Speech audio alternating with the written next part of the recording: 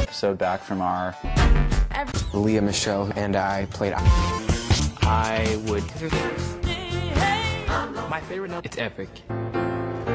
Every time the crew. her stuff.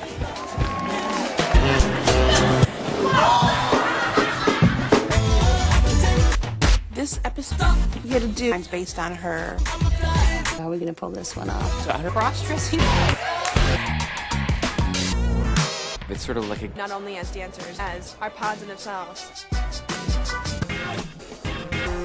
fun about this number. We're out there. I know what I was doing. I think I was trying to like some very vague.